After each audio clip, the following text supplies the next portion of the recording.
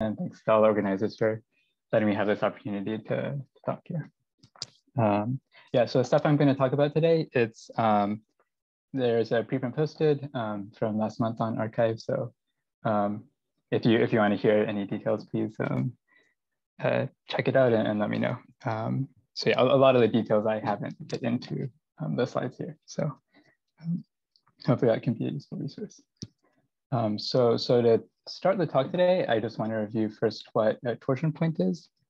Um, so this is this is a definition that works for any abelian group, but for us, um, it's really only going to be some special cases. So we'll I'll just talk about those. So um, for the first example is if we take a circle, um, R mod Z, uh, then the, so, so let's say we choose identity at the top here, and the three torsion points um, look like, uh, so they're just the angles where if you um, triple the angle, you get to identity. So you have um, three points in the three torsion subgroup, and, and then similarly there are six points in the six torsion subgroups. And if we instead move on to a this uh, two-dimensional example, um, this two-dimensional real torus, um, now we have, so we have a single identity point here. Um, it's uh, just shows up four times because of the gluing. Um, then there's um, there's going to be four points in the two torsion subgroup, and then three point uh, nine points in the three torsion subgroup.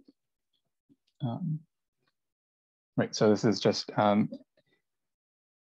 what our torsion subgroups look like, and as as we take the whole torsion subgroup, we're taking a union over all possible n. So um, right, and the examples we're going to use in this talk are really just going to be um, things that look like it's in higher dimensions. So we're always going to take the abelian group to be the Jacobian either of an algebraic curve or the Jacobian of a tropical curve. And in each of these cases, um, the group is just some uh, real torus of some dimension. And in particular, when we take the torsion subgroup um, in each of these cases, our torsion subgroup will always look like, um, like these rational points on a real torus. Um, okay, so that kind of covers this first item, what, what kind of torsion points we're talking about here. Um, okay, and, and so the this Jacobian stuff, I'll, I'll say a bit later about what, what I mean that by that. Um, okay, so the second thing I want to cover is, um, before getting into the tropical stuff, is why do people, um, why should we sort of care about torsion points to begin with? Um, so the motivation I want to start with is um, coming from uh, number theory, um, which is where, where you try to count rational points on varieties. Um, so kind of a big initial um, push in this direction was um, counting rational points on the specific Fermat curve. So if, I guess Fermat claimed to maybe have this as a theorem or not as a conjecture, but when he studied this specific curve, um, he seemed to think there were not very many solutions. So in particular, he, he said something much stronger than finitely many. He said there's only the trivial solution. So basically when you have these to be zeros and ones. Um, so this, this was claimed a long time ago by Fermat, but it took a really long time for it to be actually solved. Um, but a lot of, um, I guess a lot of nice mathematics came out of this, um, try, trying to solve this problem. And it was also uh, realized um, in the last century that there's this nice generalization. Um, so this big, um, so now a big, a big conjecture within arithmetic geometry was that if you, we can generalize the specific family of curves to just any curve of genus two or higher. Um, and, and I guess also there should be some additional niceness assumptions like smooth curves, but I'll just um, not, not leave those details here. Um, so this um, generalization said if you have a this curve of genus at least two, it also has finitely many rational points. And um, this also took a fairly long time to prove, but, but it was eventually proved as well. Um, but there's also an additional strengthening event that's, that's still not known. So um, what's not known but suspected to be true is that not only can we uh, have uh, know that the number of rational points is finite, but it's suspected that we can bound the number of rational points by some number that only depends on the genus. Um, okay, so this is a big problem that, that mathematicians are still trying to um, figure out. Um, so this is um, right, to get from rational points, so to torsion points, we can just work by analogy. So we had, um, right, so we, we saw earlier that for us, our torsion points are going to come from the Jacobian. And um, right, so we said this part is going to look like um, rational points inside a real torus. Um, so just like here, when we count rational points on a variety, we assume it has some, uh, the variety has some embedding in affine or projective space, and we're just intersecting that with the rational points of that space. And um, just like we could, um, instead of embedding our variety into um, affine space, we could instead embed it in the Jacobian. So any algebraic curve has a, natural um, embedding into its Jacobian variety up, up to choosing some base point um, to go from. So once we embed the Jacobian inside its variety, it's also, um, it kind of makes sense to try to think how it hits these rational points of the Jacobian instead. Um, okay, so much, much later than um, the Mordell conjecture was made, uh, Manin and Mumford conjectured that this analogous statement should hold for um, torsion points of the Jacobian as well. So if we intersect um, a curve, an algebraic curve of genus at least two, we look at how that um, curve intersects torsion points in the Jacobian, we only get finitely many. Um, and, and, this was um, proved by Raynaud actually in, I guess, in the same year as um, the Mordell's conjecture was proved. And then just after that, though, there's still this analogous strengthening to try to show a uniform bound as well. So um, saying that the, this number of torsion points could be bounded by um, a function only depending on the genus. Um, so this was also, uh, until very recently, this was open, but as of about just one year ago, there were two preprints that came up on the arXiv um, prov proving this conjecture in, in separate cases. So with uh, Kühne's uh, version, um, he proves this for uh, number fields, for curves over number fields, and then the work of Looper, Silverman, and Wilms um, proves the case when uh, the, the function field case. And um, right, so so I guess as the um, in the direction uh, the the um, right, so so perhaps the the, the results, uh, the tropical results that that I've done here, um, I guess it maybe there's less hope to prove something new with it, but maybe we could prove a um, understand for this uh, this result in some better way um, using more explicitly tropical results. And um, also, I guess just to mention in, in terms of how the work here is related to um, the work of um, this, this recent work on the uniform Manin-Mumford conjecture, um, it does, so, from looking through the these results somewhat briefly, Looper, Silverman, and Wilms does um, use some of the same tools, um, such as um, potential theory on graphs, potential theory on measure graphs, um, but I wasn't able to see any um, very strong connection with, I guess, the techniques I tried in, in their work as well. Um, so, so I guess that's something I would be interested in, in looking into details further. Um, okay, right. So to get closer to the, the direction I was looking at, I uh, there is another analogy that was applied, which is to replace algebraic curves by tropical curves instead. Um, so if we if we look at just the rational points case, there's not really a tropical analog. There's not a nice tropical analog of looking at uh, rational points inside tropical affine space. But if we look at the Jacobian version, there is a nice tropical analog of Jacobians here. So it makes sense to just take the same two conjectures from before and um, just turn them directly into tropical statements. So we could, we just take, um, yeah, instead of algebraic curves, we take tropical curves and um, the tropical Jacobian um, has been shown to, to satisfy a lot of um, properties analogous to what you'd expect from algebraic curves. Um, so we could ask, is the number of torsion points finite tropically? And uh, moreover, could there be some uniform bound if it is finite? Um, so these are the the two questions I'm um, going to discuss and um, see what is or is not true here. Any questions up to here?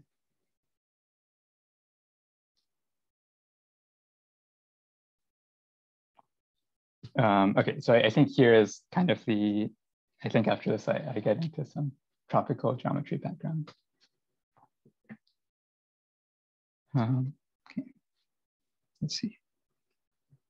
Okay, right, yeah, so to, so the objects um, I'll be talking about are tropical curves, which I'll think about as given by the following data. So I take a, I take G to be a finite connected graph. Um, and uh, this L is a length function on its edges. So each edge of the graph gets assigned some positive real length. And then I end up, and, and this object I really think of as a um, topological space with a metric on it, um, given by path, uh, path distance. So um, I guess some examples of tropical curves are, um, so we, we, could take this tree, or we could, uh, maybe our graph form some loops, um, like in these two cases an important invariant we're going to assign to these graphs is the um, genus of the, of the graph or curve. Um, and uh, so the genus is just going to be defined to be the dimension of the first homology. Um, so the three examples here correspond to genus um, one, two, and three. Right, so, so for me, when I talk about tropical curves, I'll think of this as the same thing as a, a metric graph um, as described below. And to say a bit more about this, um, so I, I defined a graph as coming from this data. So the metric graph comes from a combinatorial graph and a length function. Um, I also want to think of some uh, equivalence relation among this. So if I if I take say this graph with um, these seven vertices, I could also subdivide one edge into two subedges by introducing a new vertex. And as long as the lengths add up correctly, I'm going to think of this as defining the same metric graph. So um, implicitly, I'll, I'll, I'll, be thinking up to um, this kind of equivalence of subdividing or joining edges.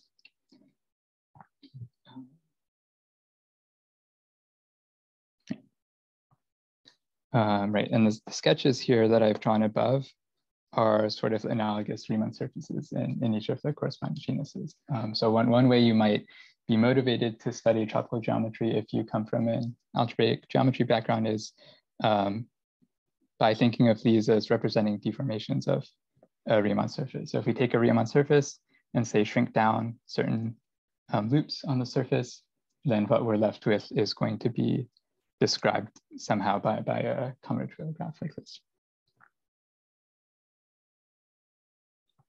Um, okay, so now that we're um, okay, now that we're studying metric graphs, we could also, um, it turns out we can um, apply divisor theory like we do on algebraic curves. Um, so um, the same the same way we have for an algebraic curve, we define divisors to just be a formal sum of points.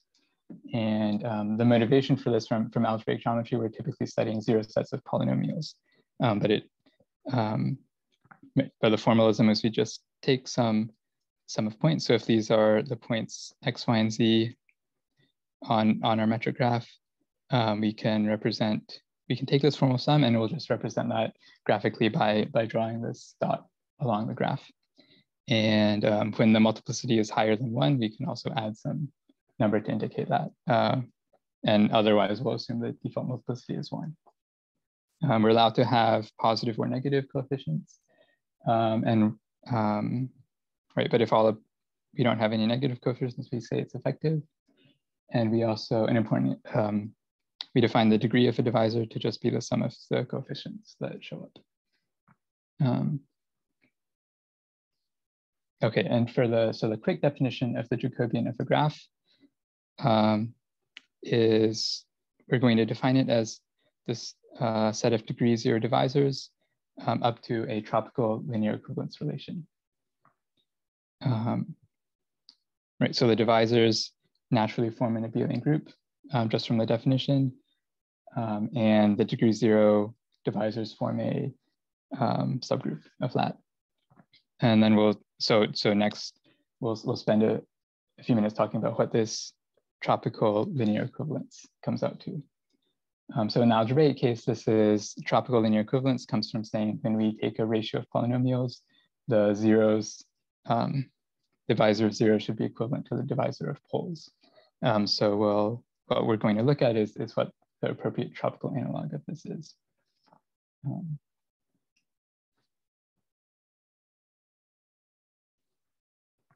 so here we have um, Right, so we're going to approach this equivalence relation first by a, um, in two steps. So first there'll be a discrete case, which is we'll um, kind of forget about the length function, or in other words, we'll, we'll, just assume all the lengths are one. And we'll look at a graph. Um, so now, now the only relevant data is a set of vertices and edges. And we can generate our equivalence relation by the following um, statements. So if we um, so one type of move we can do is, um, so if we start with some divisor like the one given here, we can choose any vertex and choose to fire that vertex, which means we look at all of the edges incident to that vertex and we move one chip outwards. Um, so um, the, the pile of four, um, right, and I guess we're talking about the um, so the, the divisor, this formal sum of points on our graph, we think of as chips being placed. Um, so we have positive chips um, on these two points and one negative chip up here. So when you fire this vertex, three of the chips move away from this point and we're left with just one. And then uh, the three chips move along these edges and increase um, these numbers by one on the new divisor. Um, so this is one um, so this is our outcome after firing uh, this bottom vertex. And one thing to note is that after applying this move, uh, the total number of chips or the degree stays unchanged. So here we have a degree four for uh, divisor and afterwards we saw a degree four divisor. Um, okay, so it's, it's actually sufficient to only think of moves like this to generate our equivalence relation on a graph, but we'll actually we'll consider as a separate case um, that is uh, convenient as well. So in addition to just finding single vertices, we could just pick a whole subgraph, um, some induced subgraph of G. So if we take our induced subgraph as both edges down here, we're going to look at um, the set of edges that go from the subgraph into its complement. So that consists of these three edges. And the firing move consists of um, subtracting one vertex from one side. So for each edge, we're going to move one chip from um, the side inside A and move it towards the side outside of the subset A. Um, so here, here's my subset A. Um, so in this case, there's also three chips that end up moving. Um, but again, as before, the total degree remains the same. Um, so we have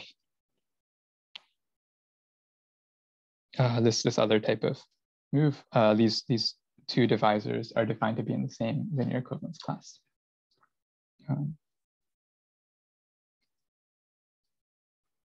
okay, so now to address the general case um, for metric graphs, we also have to introduce a continuous component. So what we're going to do here now is instead of only picking a subgraph, um, we're also going to introduce some positive number epsilon as part of the data of a, um, a firing move. So now if we say fire at this vertex, we're going to, like before, we're going to move three chips away from this vertex along the incident edges, but we're not going to move them all away. We can just move them some small distance epsilon. Um, but the uh, distance moved along all three edges has to be the same distance. Um, right, so one restriction is that our choice of epsilon shouldn't be so large that we kind of run into another vertex. Um, but all, all, sufficiently small epsilons are um, okay, are, are, valid firing moves. Um, and we could also do this for um, larger subsets of the graph as well. Rather than a single vertex, we could take this whole bottom edge as our closed subgraph. And so firing away from there, we, we see there's three edges um, incident to this closed subset. So we're going to move one chip along each of these edges um, our chosen distance epsilon.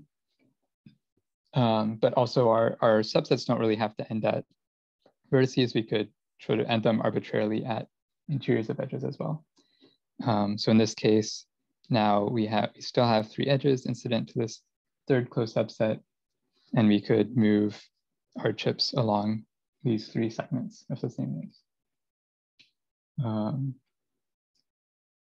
right, so in, in particular, since there's no chips here initially at the, at the boundary of this subset, we'll see after the firing move, we'll end up with a negative chip um, and one gets moved to the other side of this um, boundary. Um, okay, so this is, these are the set of moves that generate our linear equivalence relation in the tropical case.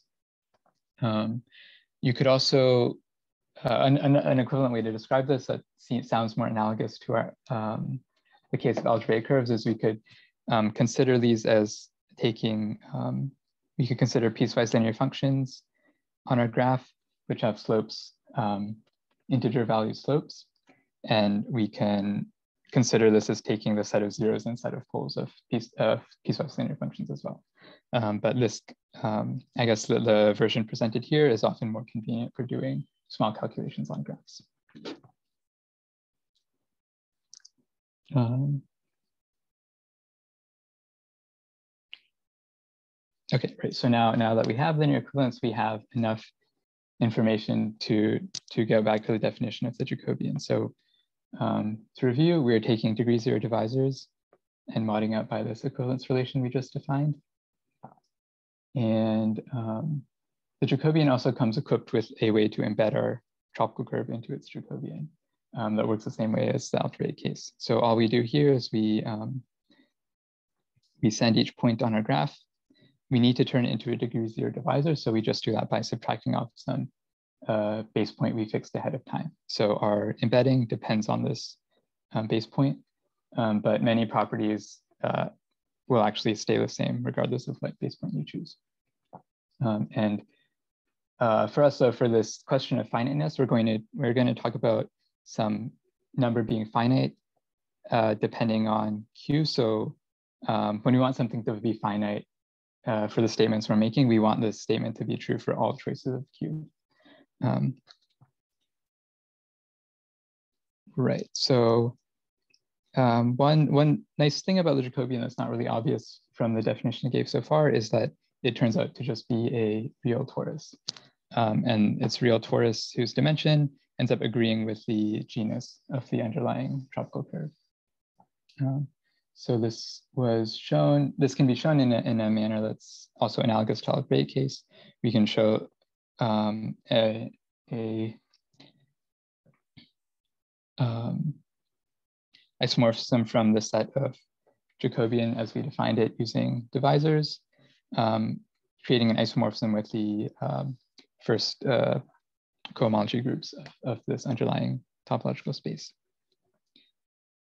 And so, it, and it follows from this that when we look at the torsion subgroups, we again get to this um, space of rational points in a real torus.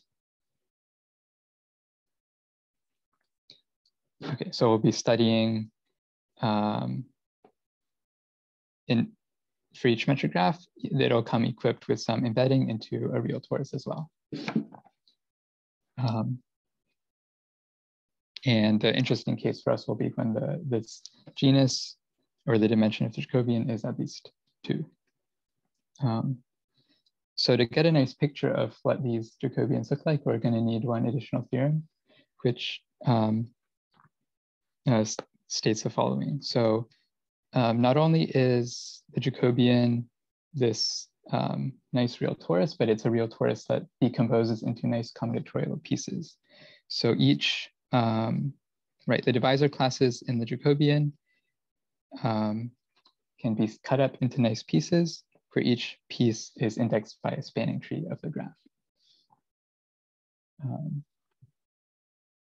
right, and here um, I guess the unique representative is us. Uh, here, the uniqueness is up to choosing a base point.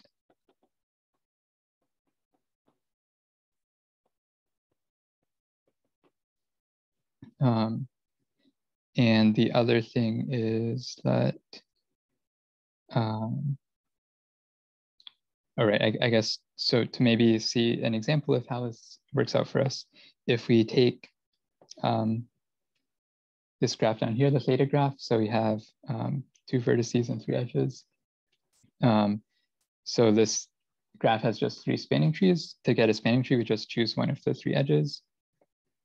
And what the divisor classes in the Jacobian are broken up to, um, they, they fall into these three cases. So either um, the,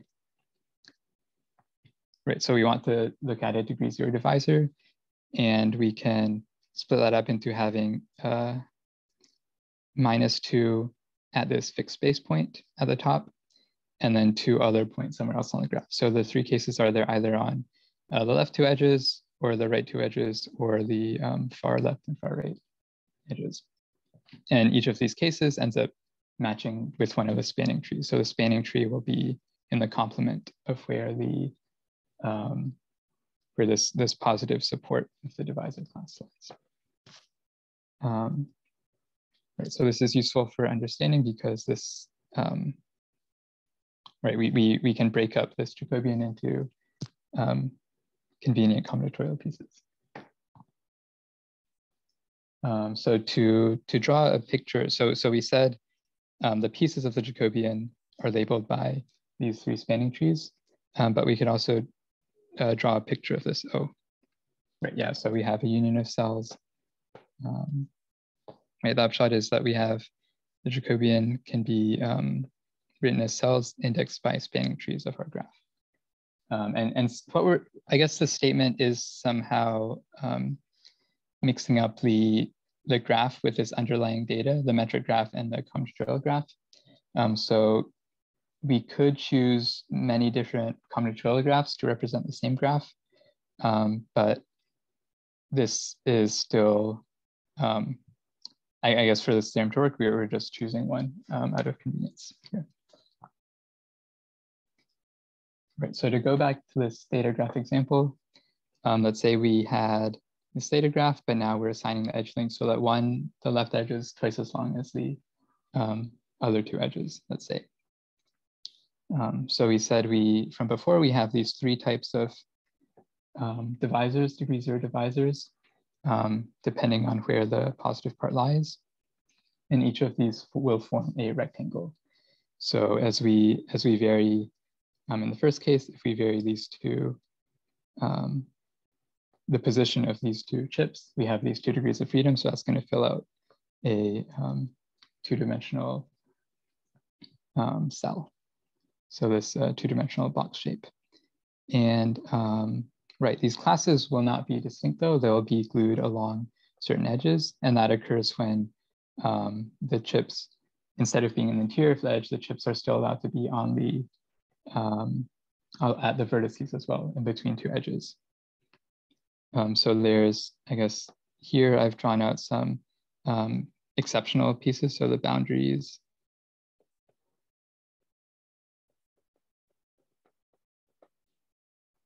Um, so these will be the, um, right, that what I've sketched out here are going to be the, um, what the divisors look like when we're in the interior of these three cells.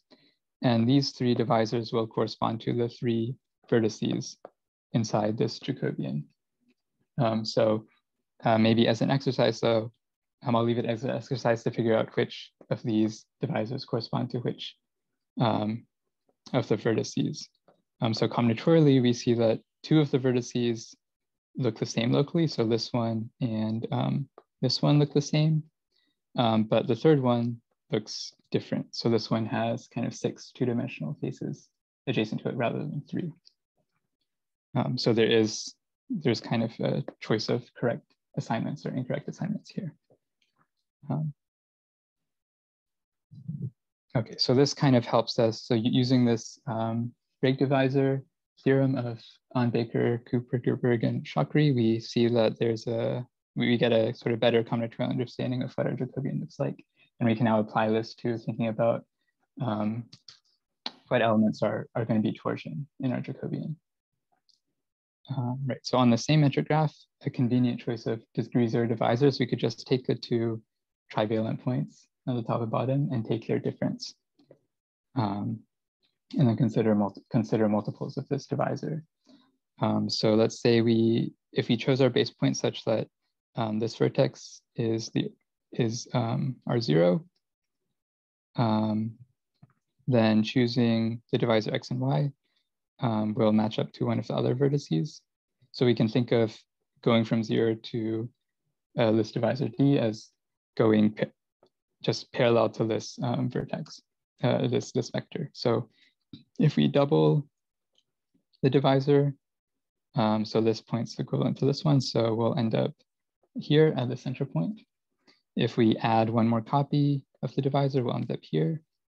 Um, this is three times our divisor. And then um, if we continue adding, we'll see that when we take five times our divisor from looking at this um, picture, we'll, we'll see that we end up back at the origin. Okay, so this point was equivalent to um, zero according to this torus boundary. Um, okay, so we see that um, this divisor x minus y of the two vertices is a five torsion element. Um, this is something we could also check by um, this equivalence relation. So we, said our, um, I guess what we're saying is that having minus five and plus five on the two vertices should be equivalent to having um, zero as well. Um,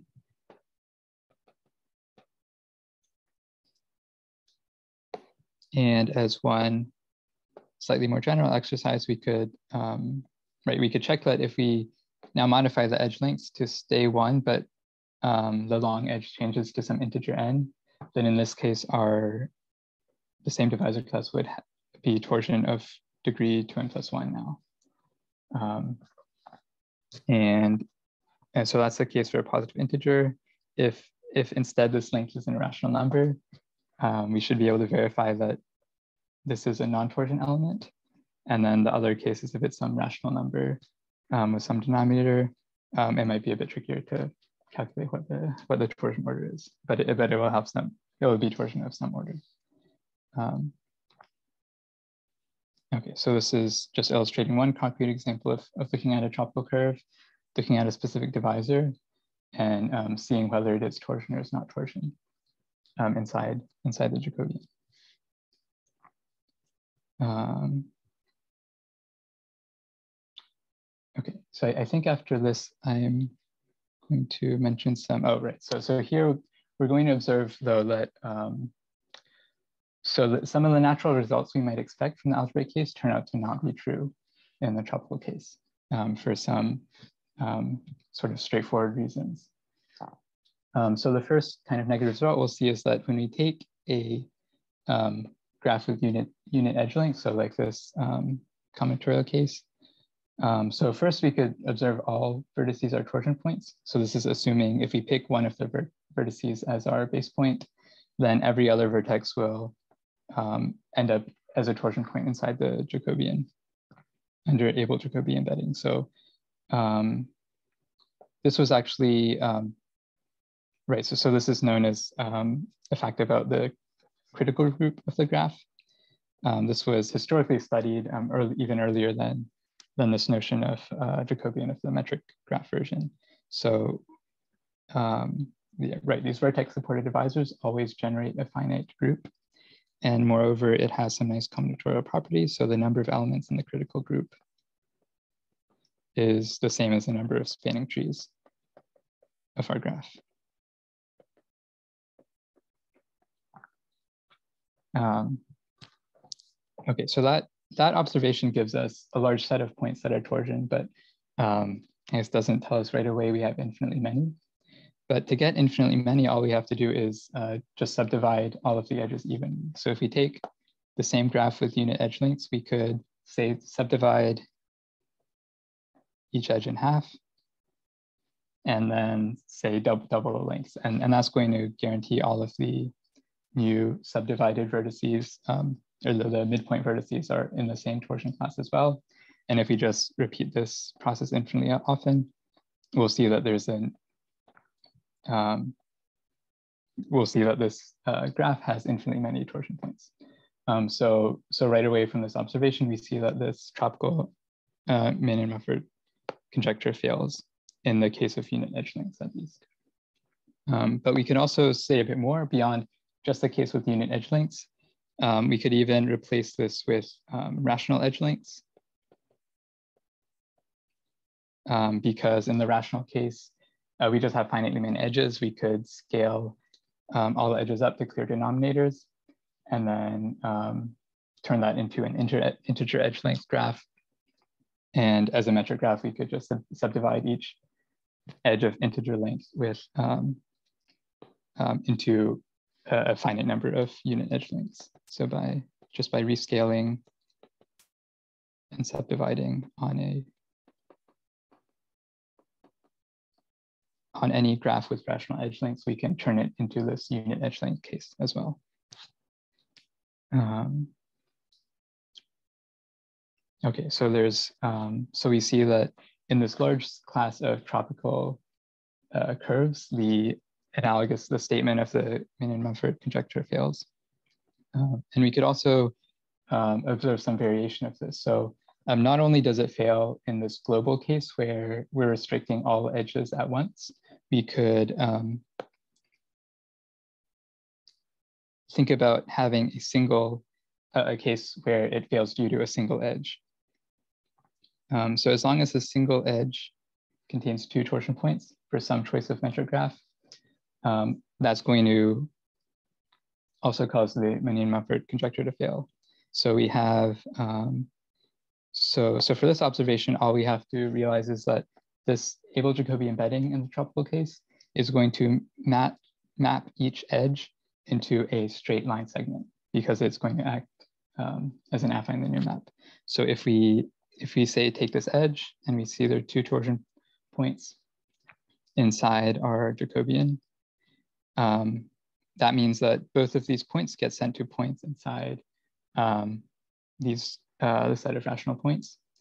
And that tells us that if we subdivide it, so take the point halfway in between, that's also going to be a rational point as well. And so we can, again, do this uh, process of infinite uh, subdivisions. And that will produce infinitely many torsion points along this um, given segment that we focus on. Uh, right, so, so the second observation, so it says we even have a local version of failure of this Manin-Mumford conjecture. Um, um, okay, so we could also try to spin this as a positive thing. Um, so in the other direction, we could think of this as saying, um, if we do know there are only finitely many torsion points on a tropical curve, then this observation gives us some strong restrictions on how many torsion points there are. Um, we're saying if there's finitely many torsion points, there can be at most one per edge. Um, okay, so this leads to sort of the first of the, the results about the tropical case. So this is, um, so the theorem says, assuming the number of torsion points is finite, we get a nice uniform bound um, right away. So what this bound comes from is just saying, we know there's going to be one torsion point per edge, and then we can easily count the number of edges as a function of the genus. Um, so this is, right, so this bound we get is just a number of um, it's a bound on the number of edges in, in our graph. And um, right, and for this bound to hold, we do have to make some assumptions like there aren't, um, we remove any extra um, vertices. So if we had any degree one vertices, we can shrink those down. And if there's any um, edges that are just subdivided by a degree two vertex, we can also get rid of those, but, but those operations are not gonna change properties of the Jacobian. Um, so, so this bound holds in, in an arbitrary metric graph as well.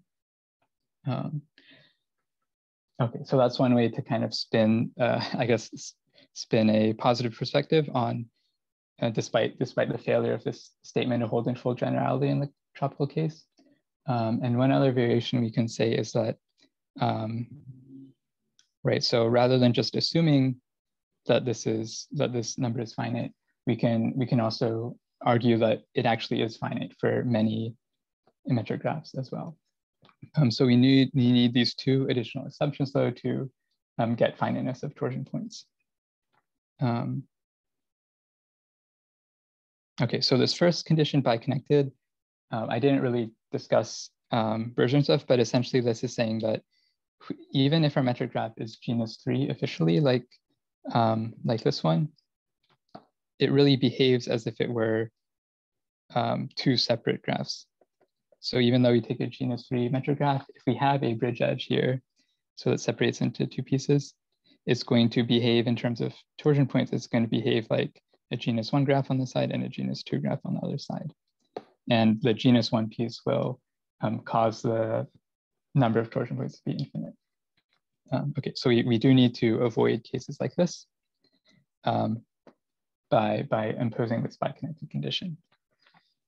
Um, right, and the second condition, the very general condition, is the one that kind of avoids this case of having all rational edge lengths that I discussed earlier. Um, so it's, um, right, but, but the, the necessary condition is a bit um, stricter than only avoiding all rational edge lengths.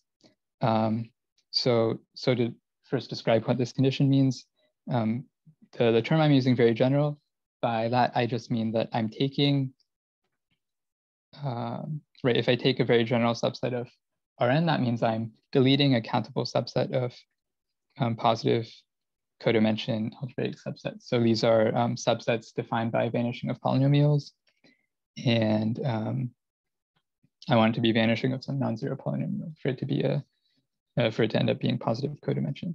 So um, one example of doing this is we can just um, take out all points where a single vertex, a single coordinate is a rational number that defines countably many conditions we're getting rid of. But we could also do something stronger where not only do we want a single coordinate to be uh, non-rational, we could say just for any for any rational polynomial, um, we want the evaluation to be non-zero. Um, so this is getting rid of all rational points, but also getting rid of uh, much more um, but we're still left over with, um, I guess, lots of very irrational points in our subset. Um, so the way we're, we're, applying it here is the um, our choice of edge lengths. We could parameterize this by um, a space that's, that just looks like r to the number of edges. Um, okay, so by very, very general edge we mean a very general subset of, of the space. Um, right, and the, the proof of this uh, second theorem, the general case, um, breaks down into essentially these uh, two steps. So first we can translate the torsion condition of a difference of two to a difference of two points into a condition on studying the unit potential function. So if we if we take two points on our graph, the unit potential function is some piecewise linear function which has a special property about its, um, it could be defined in terms of a property on its Laplacian, but a, uh, a nice physical interpretation for this is it just says if we input current at X and output at Y, um, where does the, what's the induced um, voltage electric potential on, on the graphic? Um, so, um, right, so there's a straightforward way to connect this function to the torsion condition on the, the divisor we started with. And moreover, there's a convenient expression of the slopes of this potential function due to Kirchhoff. So um, from a long time ago, Kirchhoff studied such functions and showed that each slope of this potential function can be written as a ratio of um, polynomials as a polynomials in the edge lengths of the graph. Um, and moreover, these polynomials all have um, positive integer coefficients, um, or I guess not necessarily positive, but integer coefficients, they have some nice combinatorial interpretations. And um, therefore, by combining these two things, if we want all these points to be non-torsion, we essentially come down to um, some finite collection of polynomials needing to be irrational. Um, so that tells us that we're left with a very general subset.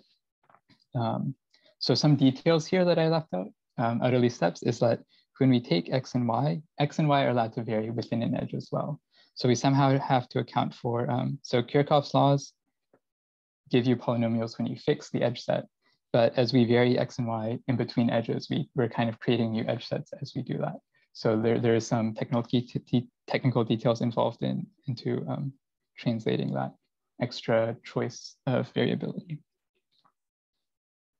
Um, okay, yeah, I guess any, any questions up to this point?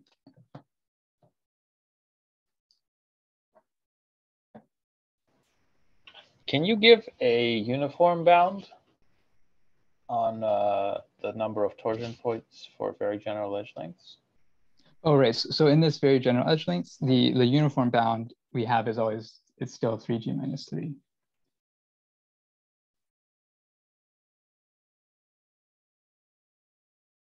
Um, because so, so very general edge lengths, and this biconnected implies finitely many torsion points.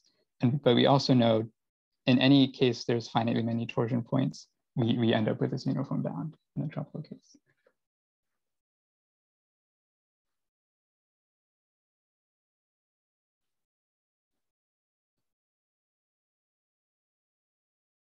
Um, does that answer your question? Oh, yeah, thank you.